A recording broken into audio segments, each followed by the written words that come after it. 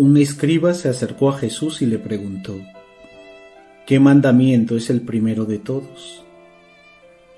Respondió Jesús, el primero es, escucha Israel, el Señor nuestro Dios es el único Señor. Amarás al Señor tu Dios con todo tu corazón, con toda tu alma, con toda tu mente, con todo tu ser. El segundo es este amarás a tu prójimo como a ti mismo. No hay mandamiento mayor que estos. El escriba replicó, Muy bien, maestro.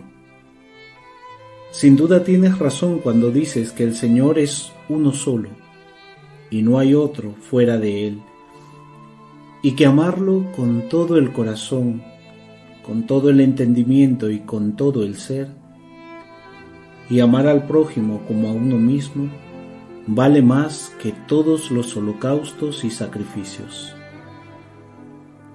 Jesús, viendo que había respondido sensatamente, le dijo, No estás lejos del reino de Dios. Y nadie se atrevió a hacerle más preguntas.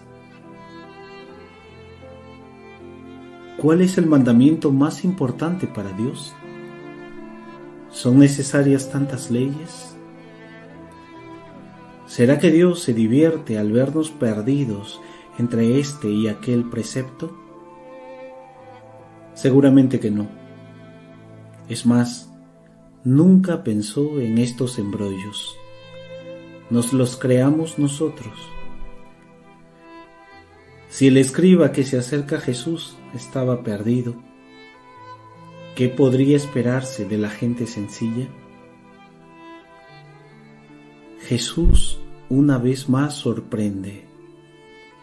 El mandamiento principal no es único, es doble.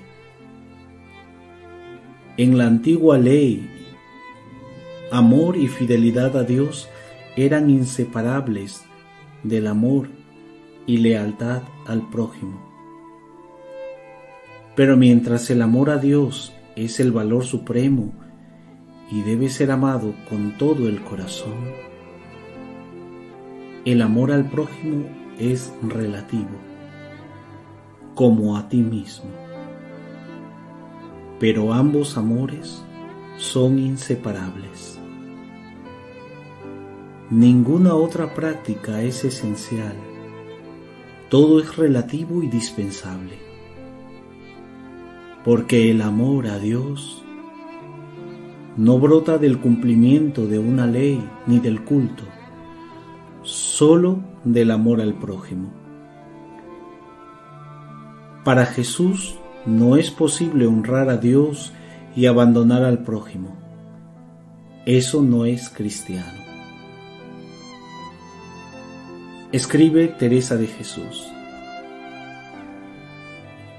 Lo que aquí pretende el demonio no es poco, que es enfriar la caridad y el amor de unas con otras. Entendamos, hijas mías, que la perfección verdadera es amor de Dios y del prójimo. Y mientras con más perfección guardaremos estos dos mandamientos, seremos más perfectas.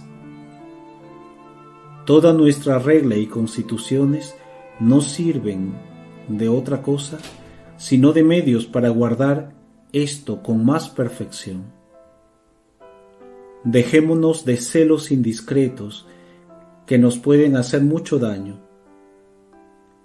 Cada una se mire así.